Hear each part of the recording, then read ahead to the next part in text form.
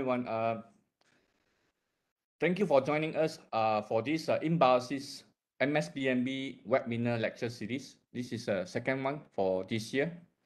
Um, I'm uh, Ng Chian Leong, uh, your moderator for today's webinar. I hope the introduction and the video that just not show and also the slide provide you some background of uh, INBIOSIS and also uh, for those who are interested to uh, work with us, you are most welcome. And uh, feel free to uh, browse our Institute of, System, Institute of Systems Biology uh, websites and uh, social media for the latest updates and also info regarding the activities of uh, INBIOSIS. So I'm, I feel very grateful today that you all of you can join us for these webinars uh, the collaboration between the INBIOSIS and also Malaysian Society for Biochemistry and Molecular Biology, MSBMB.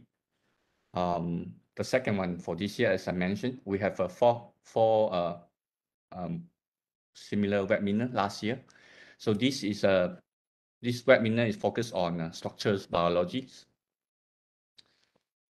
So the INBIOSIS webinar was uh, series, uh, webinar series was established and started in 2021 for the purpose of uh, providing a knowledge and research experience sharing platform. Um, we still continue this uh, webinar because of the support that we obtained from uh, for the past webinars. So without uh, further ado, I would like to introduce our honorable speaker for today, Associate Professor Dr. Gao Yong Gui, from School of Biological Sciences, Nanyang Technology University, Singapore. Dr. Dr. Gao obtained his uh, PhD from Zhejiang University, China.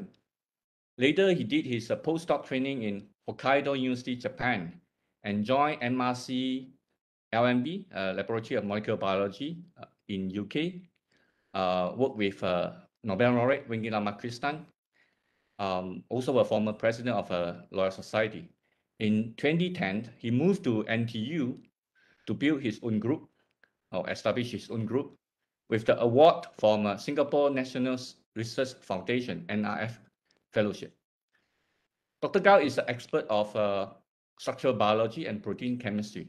And currently his group is interested in doing molecular biology of protein translation and gene regulations, molecular mechanism of antibiotic targeting ribosome and antibacterial compound development, as well as uh, exopolysaccharide biosynthesis or biofilm formations and regulation and its potential application development. Dr. Gao has published paper in very high impact journals such as Science, um, Cells, um, Nature Structural Biology, PNAS, and etc. The results have been uh, widely, the publications have been widely cited by many of the high impact journals as well. Currently, he serves as an editor board member of several journals, including uh, Frontier in Microbiology, Scientific Report, and a few of Nature Publishing Group uh, journals. Uh, let us welcome Dr. Gao to share with us his work, um, recent work on relating the protein translation. Dr. Gao, the floor is yours. Okay, uh, thank you so much for your uh, excellent uh, introduction, Dr. Chang, and uh, also uh, moderate uh, my talk. So hello, good afternoon, everyone.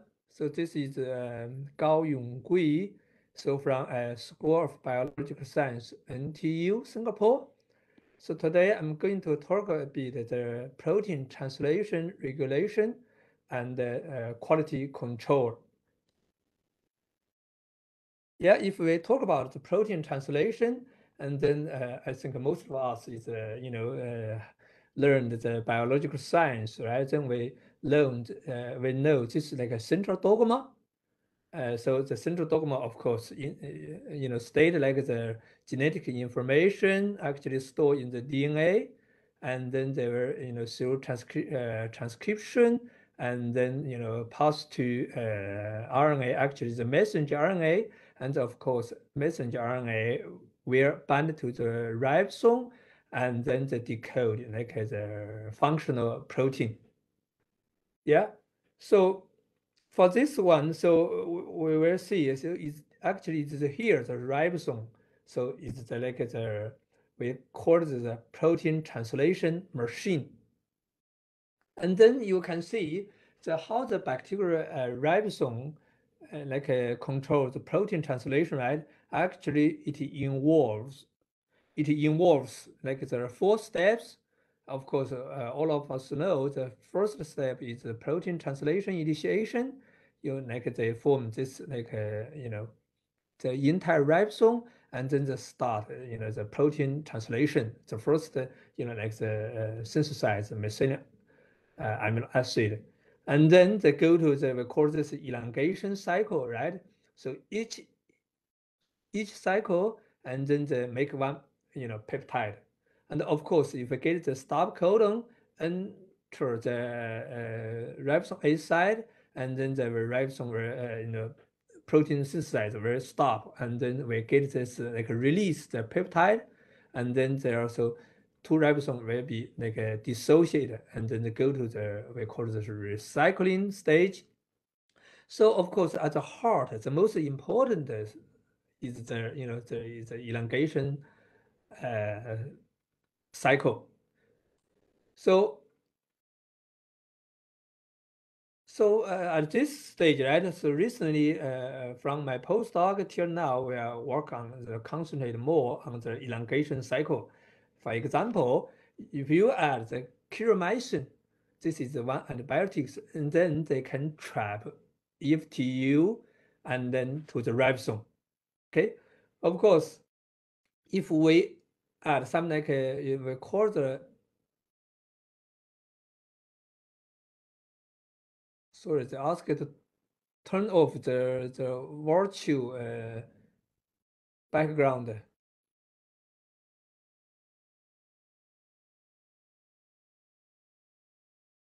Because maybe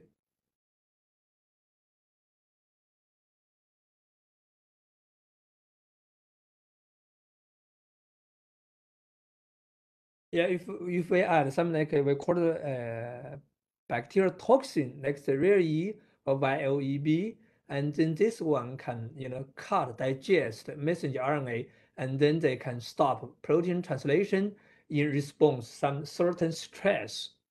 Okay, and then we also work on, for example, if we add the neomycin and also some like a stress protein BPA and then we can get the BPA bound to the ribosome. Of course, we also know that EFG you know, can promote uh, uh, translocation. And then if we use, sorry, if we use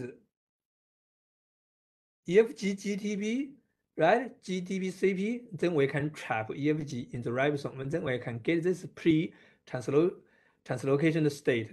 And of course, if we add like a fusidic acid, you know, this is one type of antibiotics, and then they can trap EFG after ATP hydrolysis or after GTP hydrolysis. And then we also work on several stages. For example, we can get the carbonated tRNA bind to the uh, ribosome where we also work on the LepA and bind to the ribosome, and uh, we also work on the A, we call the ABCF protein. This is actually can generate antibiotic resist, resistance.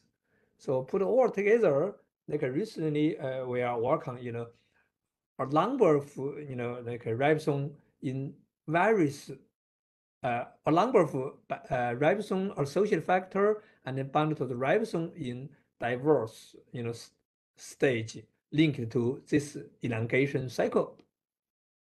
And then the, today, then I will talk a bit is like two uh, translation GTPase factors. We call this BPA and LepA. Actually, this is the paralogs of EFG because you can see they can ubiquitously conserved in like bacteria, mitochondria, and uh, chloroplast genomics and also they are basically is uh, you know stress response. you know, non-essential. However, if under stress, and then they become essential. Of course, they are the ribosome association. And then you can see uh, we de uh, determine this uh, uh, the structure of the BPA and also the LepA bound ribosome. Of course, this previously they determined a long time ago the EFG. You can see they have very quite similar overall structure, but of course, EFG they have unique uh, uh, domain four, but for the LepA and BPA, you know, they don't have they don't have a domain four, but then you have this like a C terminal domain, like here, we call this CTD for uh, LepA, and also here for the BPA. So very, very interesting. So overall, similar, but bound to the ribosome in different uh, functional state, right? And then particularly we determine this like a BPA, isolated BPA structure. You can see this is, uh, you know, uh, five domains, right? And also particularly they have this unique uh, C-terminal domain. We, we, we also found this is a novel forward, okay? And of course, more interestingly, how it to the ribosome. We determined the BPA bound the ribosome structure. You can see because this is entire ribosome. So to clarify the structure, so we remove this 50s, then we can clearly say, okay, it's a BPA bound to actually the you know A side and then the interacting with the A side tRNA. Okay, so this is the P side tRNA. Of course, this is the E side tRNA.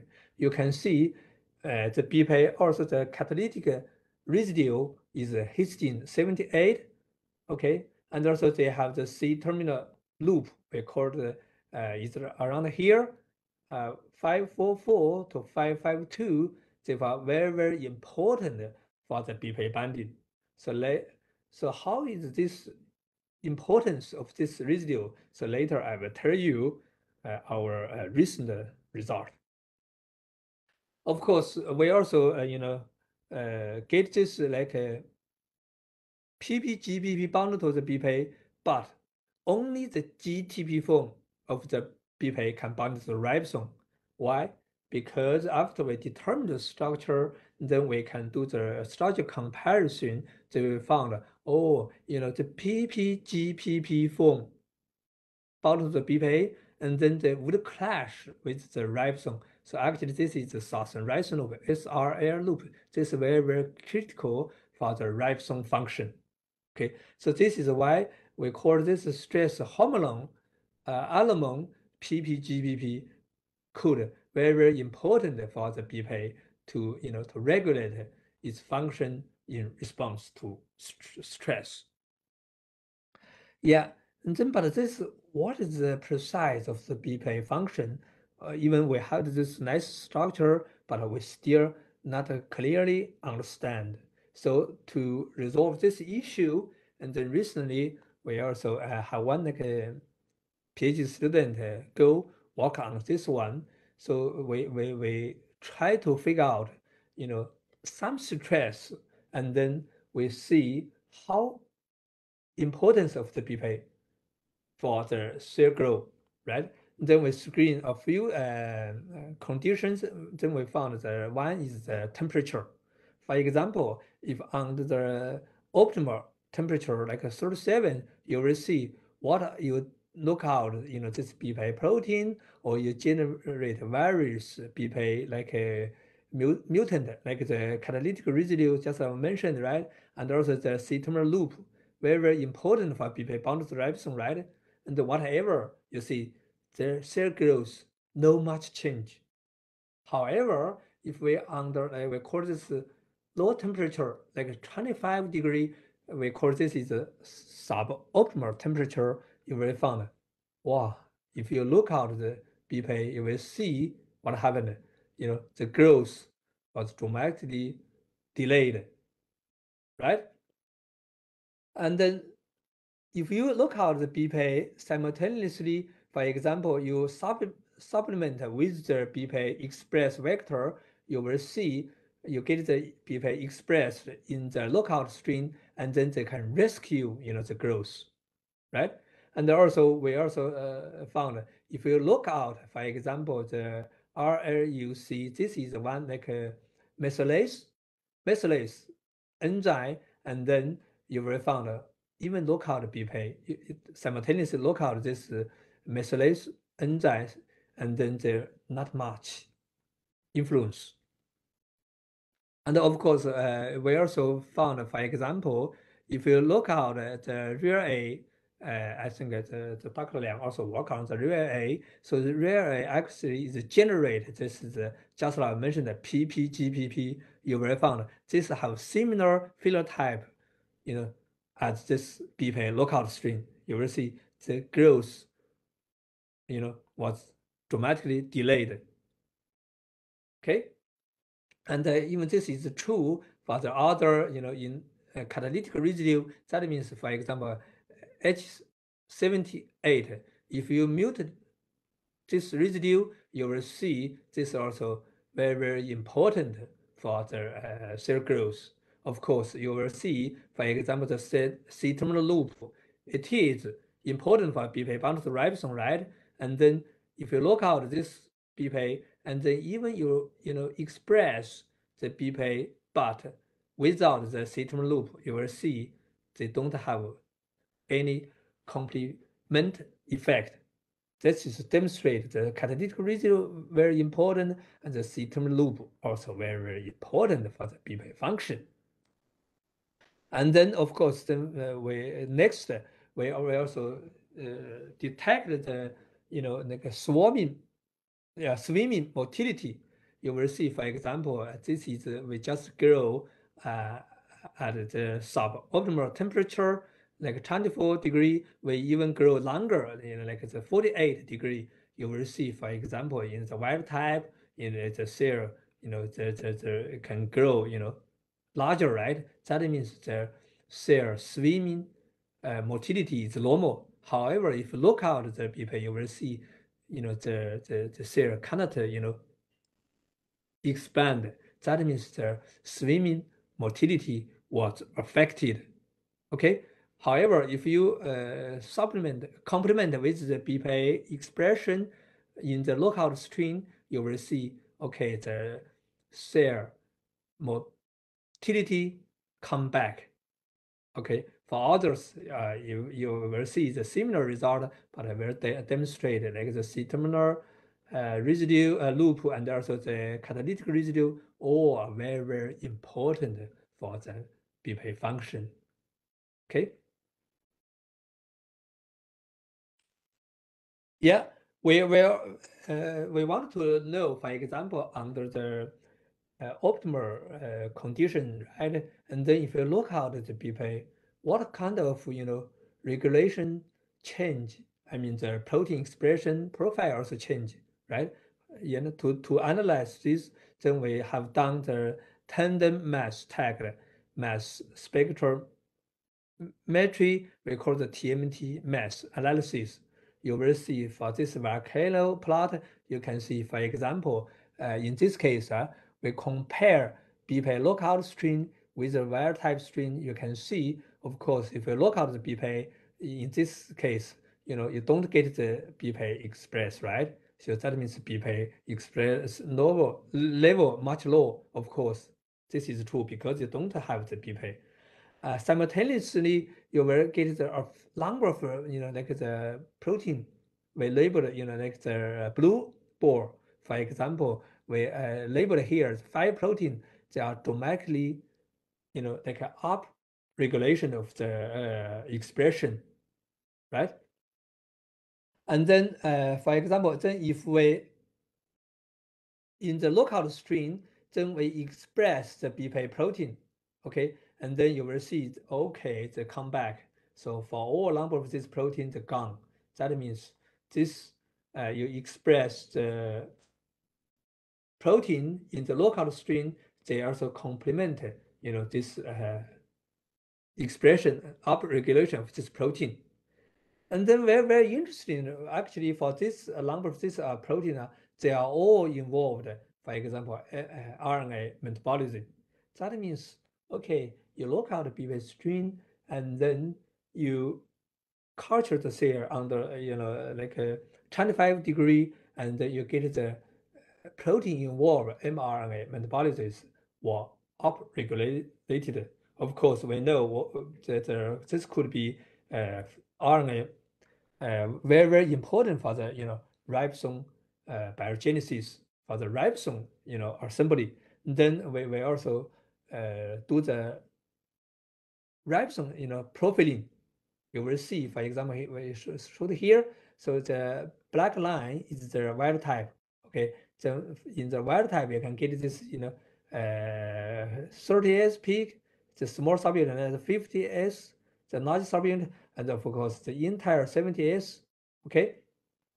However, if in the red case uh, line, right, if you look out the BPA string, you will see eh, you get this 70s peak lower, and the 50 is also lower, simultaneous, but you get the, you know, more in the 30s, and also you have this uh, shoulder, you know, between 50s and 30s. We say this is pre 50s. And then if you, you know, supplement the uh, BPA expression, or like just mentioned, you also double mutant BPA as well as their, you know, uh, misplays of RLUC, you will see they are all just in these two cases, they are all come back as like a wild type. Okay. Of course, interestingly, if you uh, do the same and then supplement the BPA, but with the catalytic residue mutate or the just now I mentioned the C terminal loop deletion, you will see that more or less as this, uh, you know, lookout string. You also get this like a shoulder for the pre-50s. Okay. Yeah, but this this is the case the same. Only, you know, so this is a demonstrator. Okay, so the BPA uh, could be very, very important for the ribosome biogenesis, particularly the 50S, right? And then the next thing we, we did the binding assay. For example, we do the ribosome profiling and then simultaneously we do the antibody to check whether you get the BPA bound to the uh, ribosome or not. Because we get this expressed uh, BPA with histone tag, so now we do Western blot, you found, okay, your BPA is indeed combining, you know, 30s even the you know 50s as well as the pre-50s, you know, and we also did the uh, sucrose pelleting down because if we be small protein to the ribosome and then they will sediment together with the large ribosome. And then we, we check okay it is you know the BPA bound to the pre-50s okay? Oh that means demonstrate oh BPA it is indeed very important for the uh, 50s, you know, biogenesis under, you know, like a, a cold stress. Okay. And then with this, then what we have learned, right? For example, we learned the GTP hydrolysis and also the C-terminal loop of the BPA are very, very crucial for the 50s biogenesis at low temperature. And uh, if loss of BPA and then there were results to results in up regulation of the RNA metabolism protein. Just now I showed you guys like there are at least five RNA metabolism proteins. And also uh, this uh, observation together, then let us know, you know, okay, this is the BPA is really, you know, bona fide ribosome assembly factor. It could be important for the ribosome biogenesis at you know cold stress. Okay, this is uh, we say the a few uh, the ribosome associated protein BPA or LepA, and then next we will show you some other uh, ribosome associated factor. So like this, uh, what we uh, recently investigated, Gib2 and RACK1 protein we know this is, you know, uh, Gib2 or RACK1, they will call this a scaffold protein because they can bind, you know, can, for example, they have more than 50 binding partners. This binding partners protein, right, can involve, you know, diverse uh, cellular function. For example, uh, signaling, trafficking, or metabolic, right? And also, uh, uh, we also test, for example, Gib2 not essential in this uh, see. This is uh, like a passenger fungi can cause, you know, like uh, our nervous central nervous system, uh, brain nervous system, like a meningitis. So you will see, for example, here, if uh, so, we have two. Uh, so this is a wild type, and then this one empty square is a lookout. So you will see under you know 37 degree, so lookout Gib2, no much change, either YPD median or this YNB median. Okay, so 37, no much change. Okay, however, oh sorry, so uh, like a 30 degree, no much change. However, under the 37, you can see, uh, particularly at this YNB median, if you look at the Gib2, and then you can see the growth much, much delayed. Then we can think about because this uh, say neoformans uh, is a human uh, passenger fungi. So if we want to infection human, of course, this is uh, uh temperature would be 37. So that means okay, the Gib2 could be you know very very important for this you know virulence of this uh, passenger fungi, right? And then, then follow this, then we, investigate the, the Gib2, then we determine the Gib2 structure actually is very similar like the RACK1. So they have the theta uh, uh, 7 like a propeller, you know, unit. You have the unit one, two, three, four, all together is seven propeller fold structure. So this is the top view and the side view. And then importantly, then we, we will show is that actually the Gib2 or RACK1, they are both ribosome social factor. You know, for example, we showed here. So if you have the wild type 80S, okay, then you also have the wild type of 80S plus Gib2, or we also have the you know Gib2 lookout 80S. Then we if you look out Gib2, right, and then you add Gib2 with uh, the, the, the 80S lookout string uh, ribosome, you will see uh, this is Gib2. You found oh the Gib2 can bind to the ribosome. Okay, of course your, your wild type uh, here they also have this Gib2 you show, show here because the Gib2 has a histone tag, so we can use that. And his tag that clearly showed okay, even you look out 80S right, and then you add in vitro add the Gib2 and then Gib2 can bind to this 80S. Okay, uh, we also test the RACK1. So if you look at the Gib2 and then you found the RACK1, you know, even also can bind to the uh, 80S. Of course, we use anti-RACK1 and you get the signal here. Okay, and also interestingly, we found Gib2 not only interacting with ribosome, they also can interact with you know eIF4A. Of course, what is the eIF4A? This is you know translation elevation uh, uh, factor. So that means the Gib2, you know, will also involve you know uh, protein translation initiation because you can see here you can get this you know Gib2 also can get this uh, eIF4A singular, right?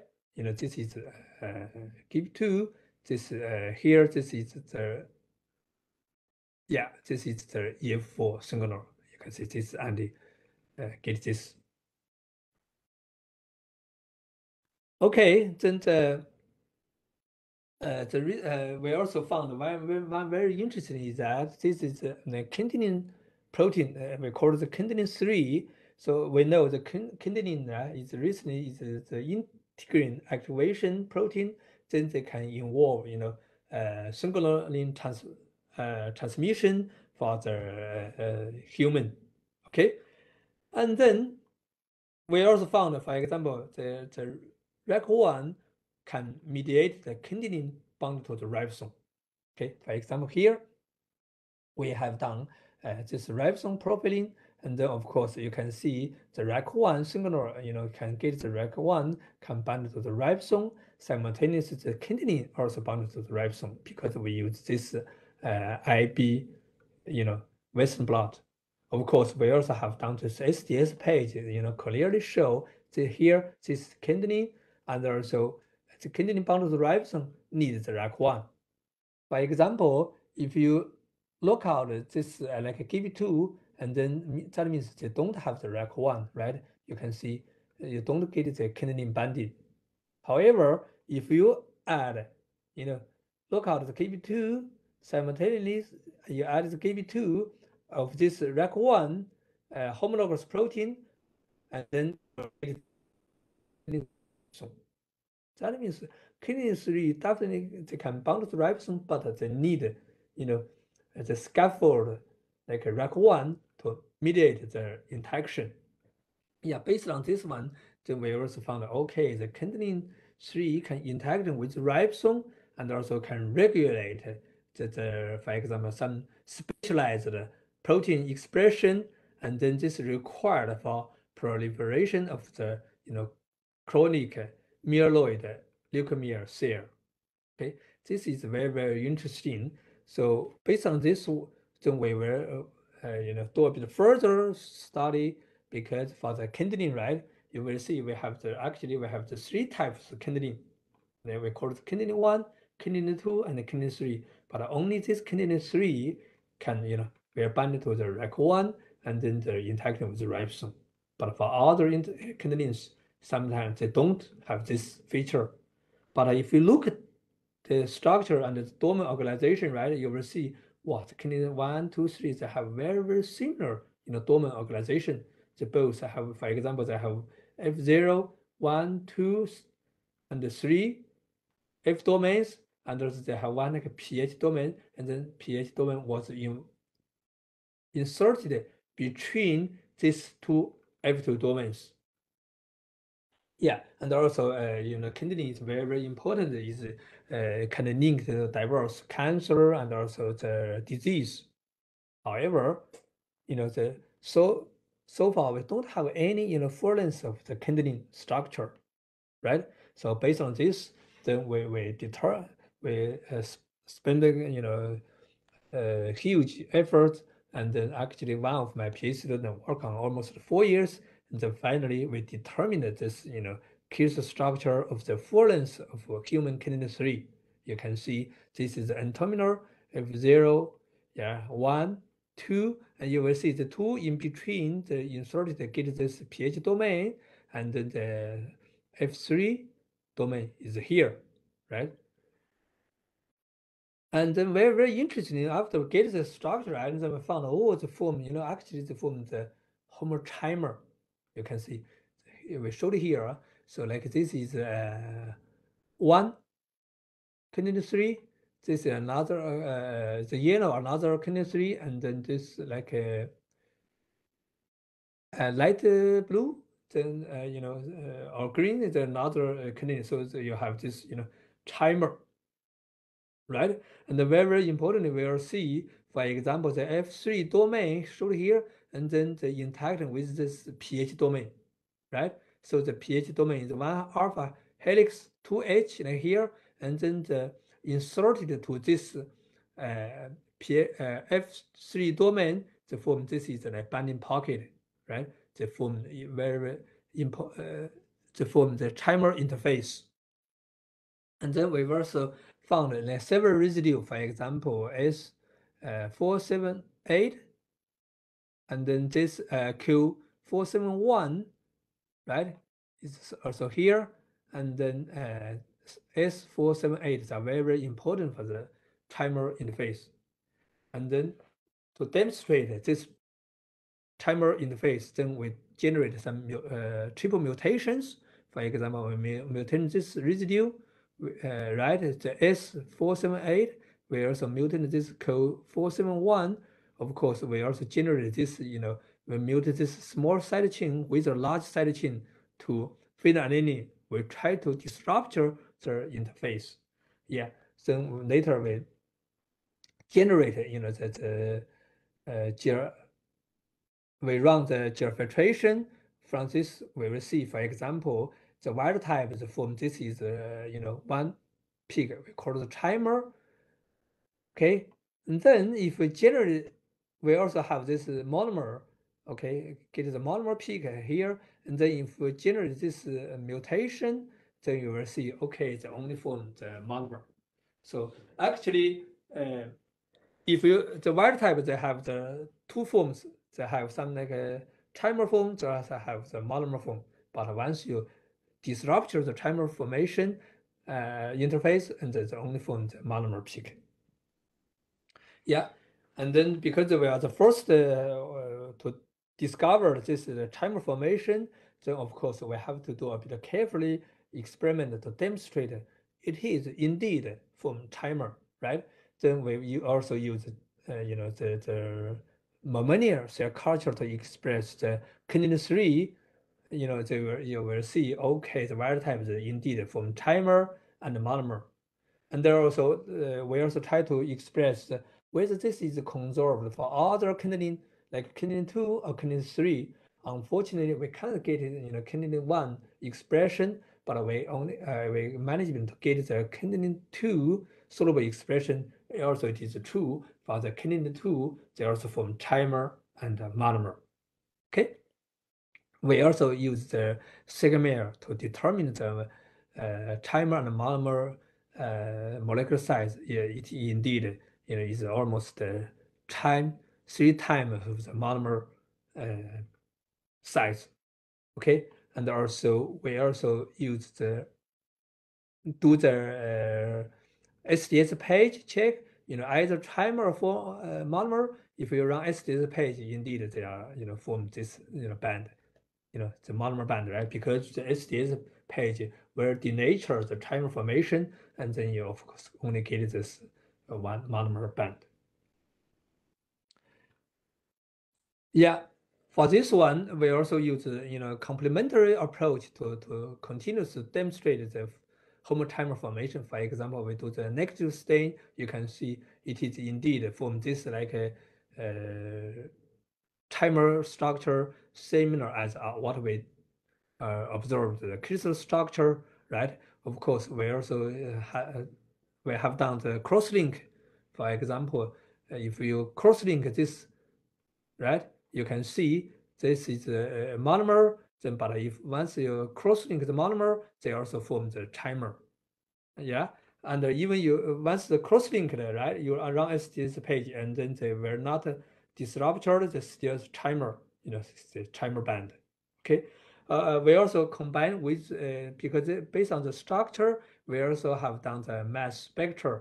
So we we mapped, for example, the cross link is here, you know, like here to here. This is uh, intermolecular crosslink. Also get this intermolecular crosslink like between one protomer and another protomer. You can see here, yeah, crosslink.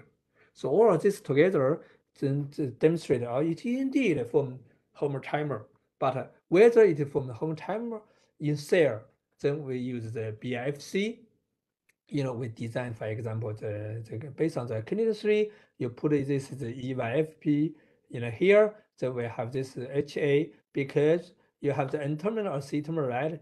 EYFP. If they form trimer, they will bring this N-terminal and C-terminal together. They will generate, of course, you know, the, the, the fluorescent uh, intensity.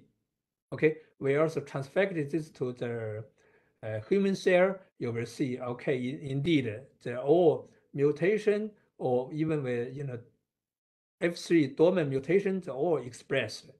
Okay. However, you, you can see only in this case, for example, wild type, you get very strong the intensity. But if you mutant F3, of course, because just I mentioned, the F3 domain was involved for the trimer formation, right? This is, uh, and then if you mute the uh, delete the F3 domain, of course, get no signal, very, very low.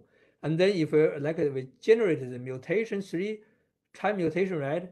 Destructure the trimer, you will see, okay, the intensity also very, very low.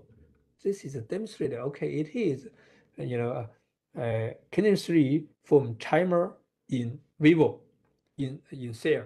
And then we also did the structure comparison. You know, previously published one paper for the kindlin, this is a mouse kindlin, but they truncated the pH, you know, they only form the partial, we call it the truncated you know, kindlin two structure, and then the demonstrated, okay, kindlin form actually form trimer.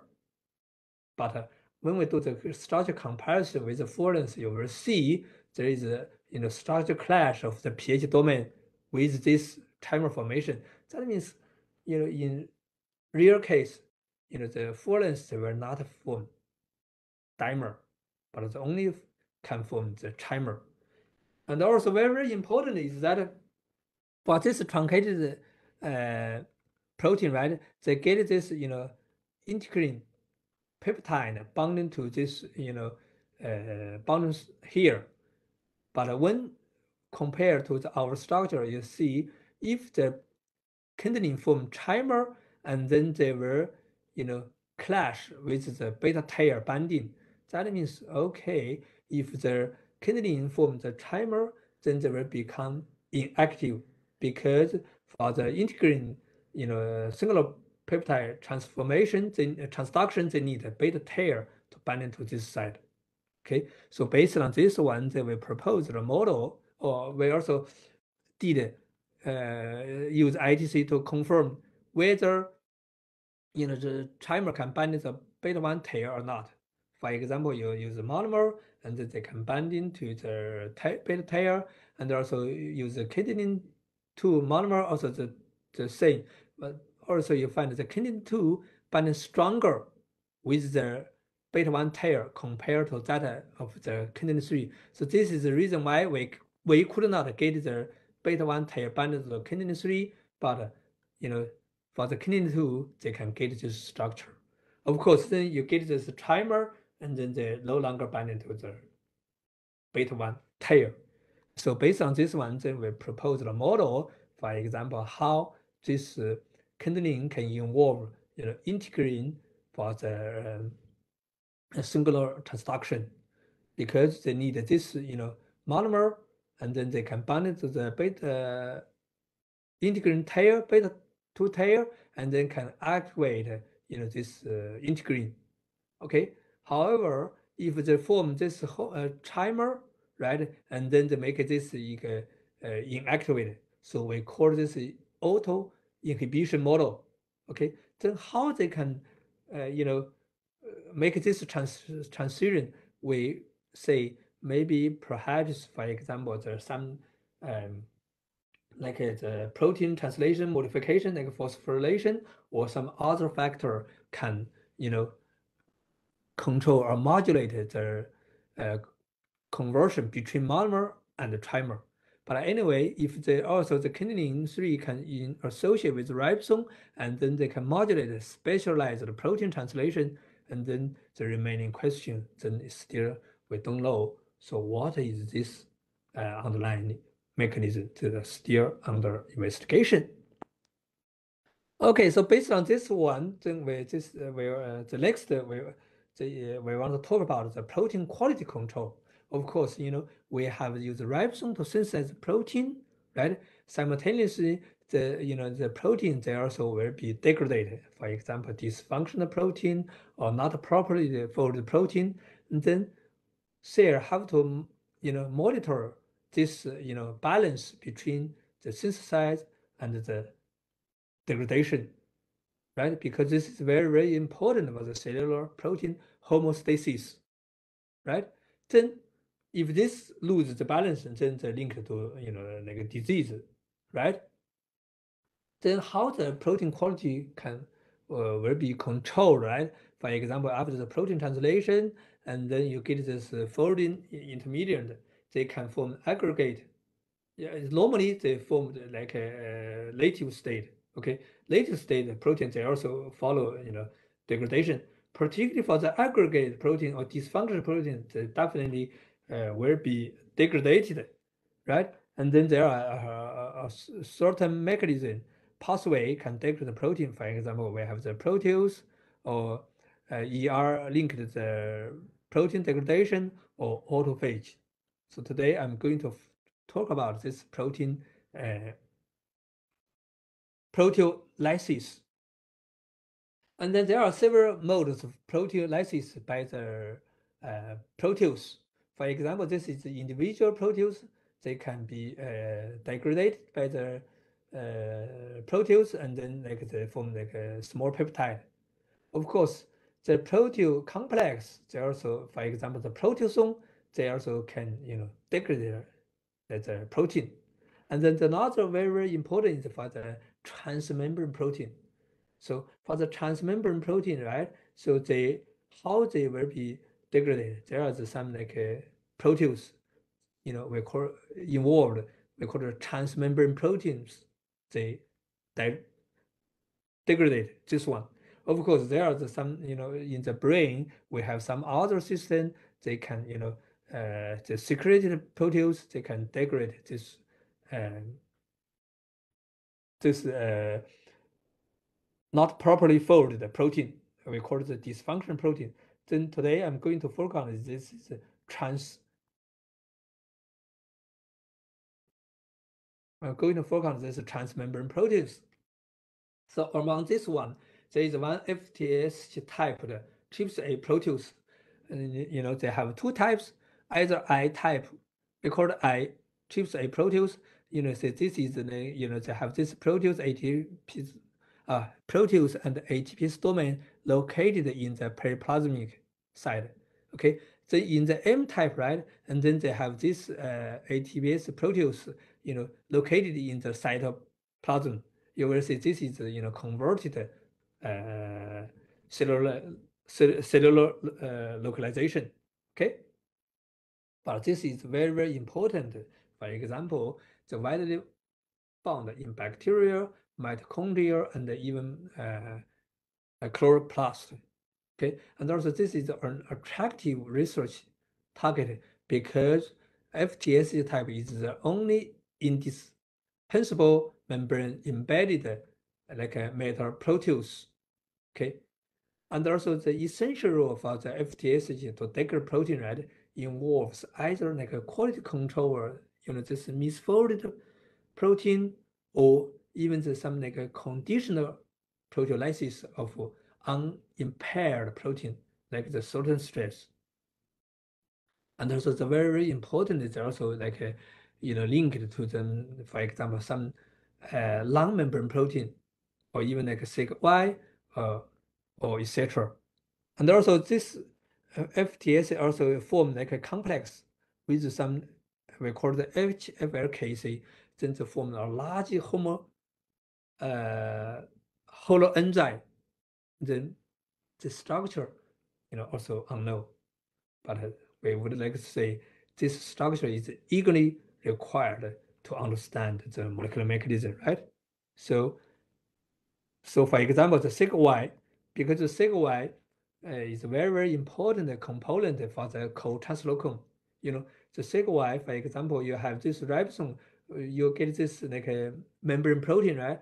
Translated with ribosome, and then they have the certain signal, and then can be uh, recognized by this SRP uh, receptor, and then they have this SecY, you know, then they can monitor, you know, can involve this membrane protein to properly translocation and uh, in along this membrane.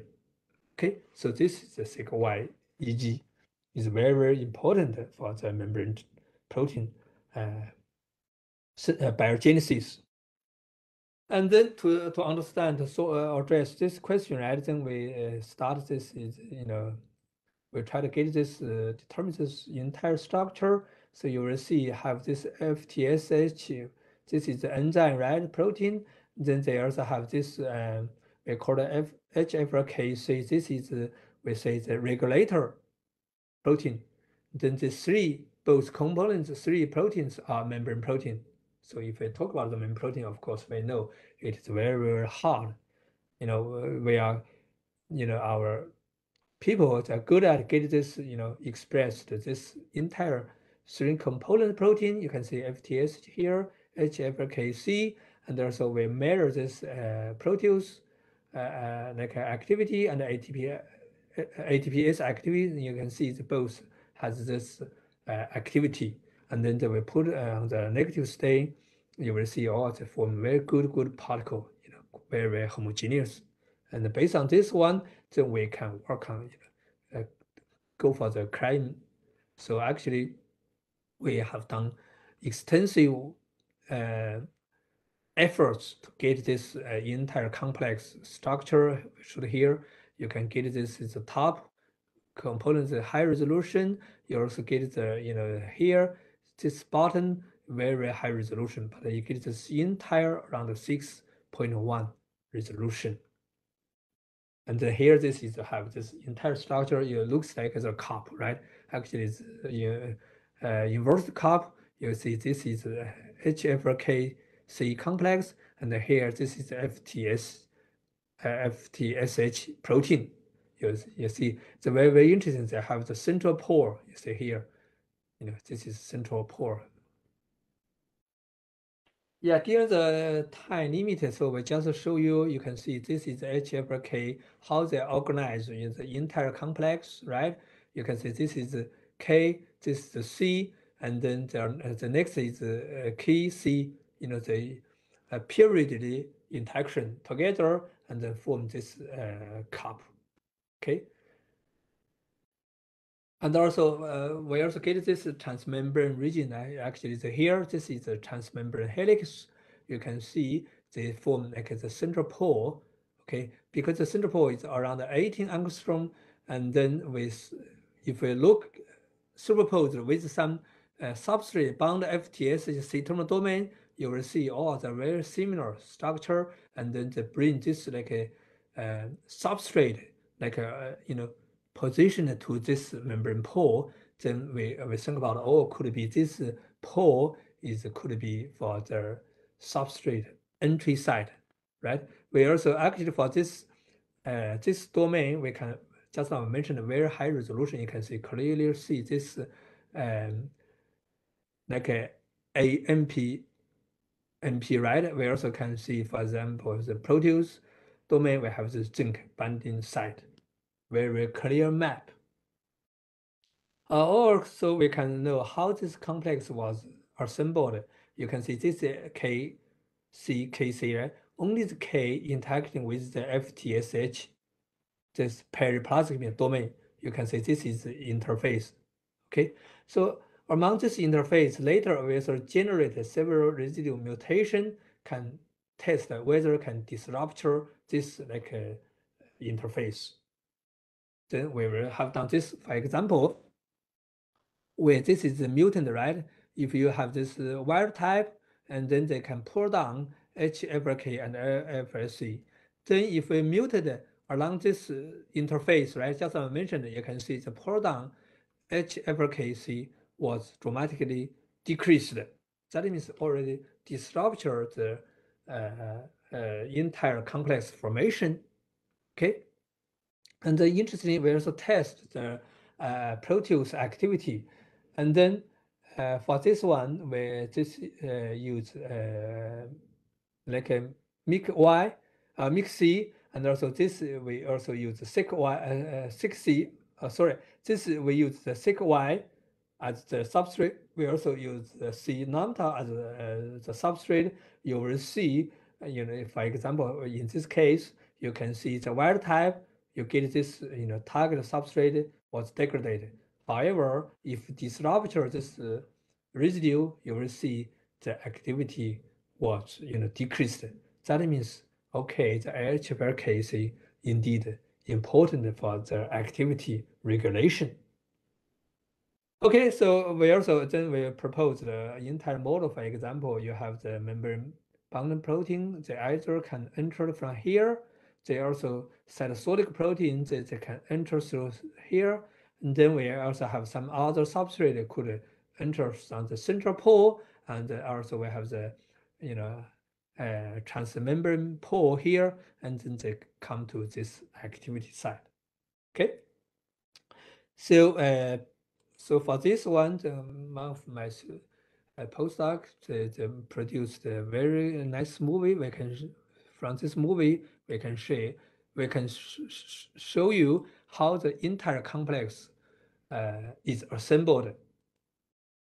Can you share? So this is F chair C and K subunit. Yeah, so how this subunit was formed. Yeah, this is the cup, the upper structure you can see, or how they you know, form this uh, KC complex. Yeah, this is a KC and this is K. Yeah, how they interaction each other to form this is a um, KC complex. And then the next, how the KC complex interacting with this FTSH. This is the periplasmic domain just I will show you. Yeah, here this is the interface. And now we have this entire FTSH. Actually, they form the hexamer, okay?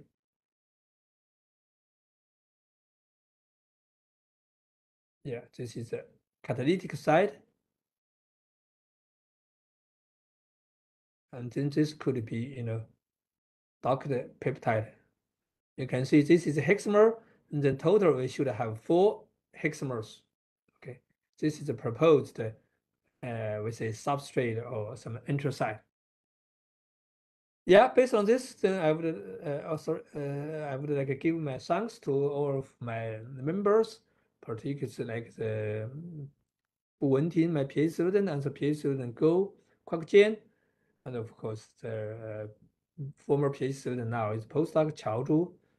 Uh, they did this excellent work. Of course, we also have the collaborators from like uh, diverse labs, and also uh, thanks for the financial support. Yeah, then the almost the four o'clock, so it's on time. So I'm happy to take your questions. Thank you, Dr. Gao. Yeah, you're welcome. Thank you, Dr. Gao, for the very insightful talks regarding uh, factors that involving in uh, protein translation uh, for few topics. Um, so I would like to invite the floor for the questions. You, are, you can type your questions and I will read it out. And for the face uh, audience in the at, at the Facebook, you also can ask the questions. So we have about 10 minutes for Q&A as uh, Dr. Gao uh, um, you have uh, other meeting to attend. So yeah, any question? I'm happy to take your question. Hopefully, uh, there are a bit, of, mm, yeah, very very intense. Uh, a lot of uh, recently we have good uh, some result, and also uh, sub, uh, subsequently uh, consequently we also get good financial support. Like just now talked to uh, the Dr. Chang so if you guys have any like uh, interest into postdoc, uh, project officer, research assistant, or even PhD student, please contact us. Not only me, uh, uh like our school, you know, or Nanyang Tech NTU or NUS, you know. Dr. Gao, there's a one question for you here from uh, yep. Dr. Muni. So thank you very much, Dr. Gao, for very informative presentation. Since membrane protein biogenesis is very complicated, May I know the challenge that you have encountered and how do you overcome the challenges when working just, on the uh, I yeah, guess... yeah, thank you so much for this uh, wonderful question. This is uh, previously we often, you know, uh, very very scared for the membrane protein, right? So recently, uh, some good uh, Uh, advanced some like uh, technology. Firstly, because of for the cryo-EM, for example, EM right? We know need, uh, you know, a lot of, you know, sample, like the crystallization, you have to have, you know, very uh, certain amount, quite a lot actually, and also the protein has to be very, very uh, purified, and then otherwise it cannot grow crystal. However, for the cryo study, right, actually we only need a very little sample and also uh, the pure pure purity could you know don't require like as crystallization purpose. This is one. The second one for the membrane protein, right? We also have some, for example, detergent development. So you can try, uh, for example, uh, detergent screening because the detergent now to, to make it more like a suitable for the membrane protein solubilization. Okay, and also uh, another one also we use, for example, this in this case we use the insect cell expression system. That means we not only use the bacterial expression system, so now we also can use the insect cell expression system, then can make the membrane protein could be more chance to to be uh, solubilized. Yeah, this is what we we think uh, from the years of the, the experience. Yeah, Right. hopefully this can help you. Thank you, Dr. Gao, for the answer.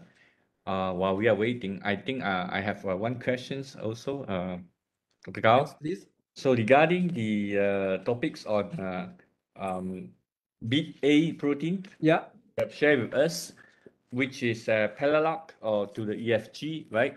yeah, yeah, And um, you have shown also the uh, the importance of the protein uh, at the ribosome bus genesis or maturation of the 50S, yeah, yeah. perhaps.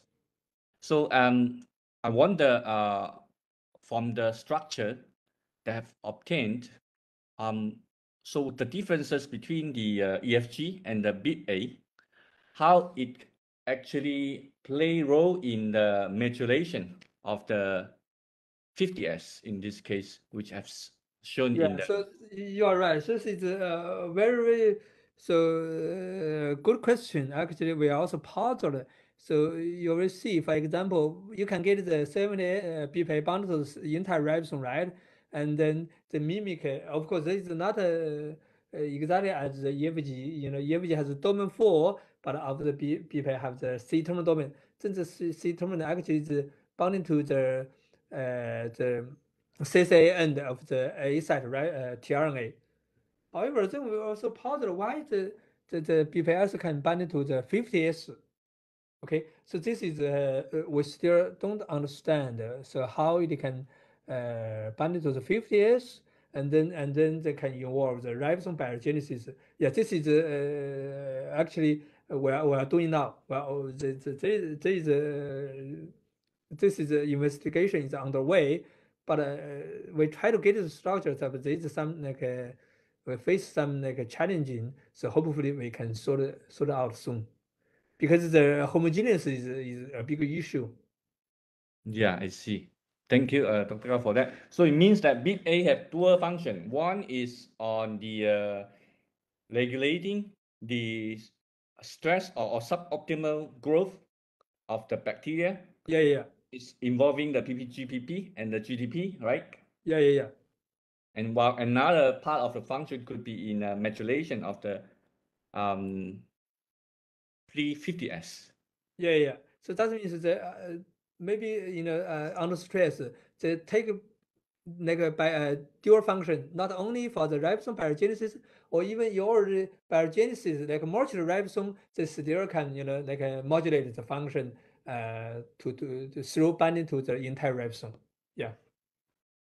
So and also you you know so quite interesting is the BipA also can bind not only GTP right, so also can can bind the alarmone uh, molecule like the PPGPP. You know it was synthesized by the RelA right. Right. Thank you, Dr. For that. Um, any question from the uh, audience here, please? So we are great to have uh, Dr. Gao with us here, also show us several beautiful structure. And uh, so for, I also uh, uh, intriguing by this uh, kindlin tree, Yeah yeah specific um, binding, uh, un unlike the other two kindlin two or one, right? yeah yeah yeah. The interaction with the ribosome. Yeah. So so this is very interesting is that so only uh, we showed here. Uh, so only you can see here. So only kindlin three can uh, you know associate with ribosome with uh, you know mediated by the RACK one. but others, kindlin one, kindlin two, they don't have this this uh, function. So kindlin one, kindlin two, they, they don't associate with ribosome. So the, you will see this is kindlin one, two, three. Uh, they have some you know function maybe uh, overlap. For example, they also can bind into some similar you know like the partner, but uh, they have the you know is is not a redundant function. They have different function. So very very interesting. So that's why at that time we take four years to get the structure. Yeah. So um yeah, go yes, ahead. please. Yes, Dr. Gao, please. Yeah. So, but then you would ask how this we we we we want to get this kindlin three know bound to the ribosome mediated by the RACK one, right? So so but uh, maybe because the kindlin three binding with the ribosome is not like uh, in one pocket. So unfortunately, we couldn't get the structure at the moment. But uh, we we are, we are thinking about some uh, strategy whether we can trap this Yeah. So we look forward for that. Uh, I think um, Dr. Gao have give, give us a very good lessons on uh, not only uh, protein translation that we we have uh, learned about how the ribosome producing the protein, but we also have seen uh, many study involving the mutants and also the growth of uh, certain mutant of the bacteria or organisms under certain stress. And we learned that many of the protein are non-essential when we are testing it, but is essential for certain under certain uh, specific environment. And we now also learn it from here that under certain specific stress, it is the growth is regulated by specific proteins and involving protein translation. So we hope to learn uh, more uh, in the future from Dr. Gao.